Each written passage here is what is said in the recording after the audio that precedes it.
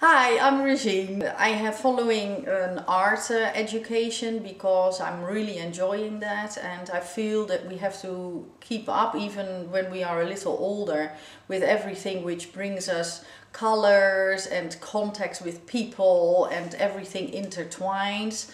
Um, so it is a fantastic idea to be able to learn something new all the time, especially also for me with more modern art, the use of digital uh, art.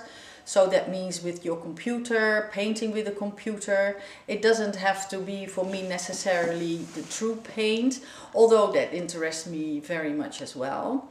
I enjoy being together with a group of people, even though I don't work anymore um, in a group of people. I need that for my social environment and I really enjoy this. I also feel that for my children it is an, a help in their work at a school or now a university to have uh, a wider um, uh, view of art, of the world, and that I can help them with different creative ideas. So they appreciate that I'm sort of being be, that I'm able to give them uh, a different input from an older person.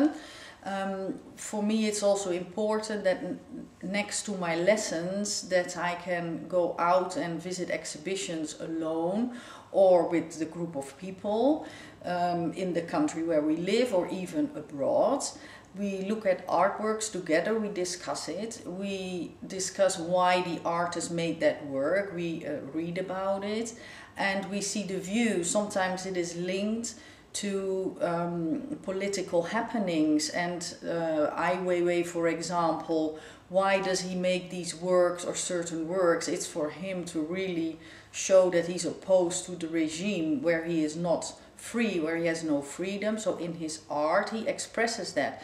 So that also makes us realize how fortunate we are at this end of the world, that we can express ourselves freely through art, but also through words. So art is a very wide spectrum and everybody could feel its place and you keep on learning what also when you get older. So it is a very useful and very pleasant way of keeping abreast of what is happening in the world through the eyes of the art.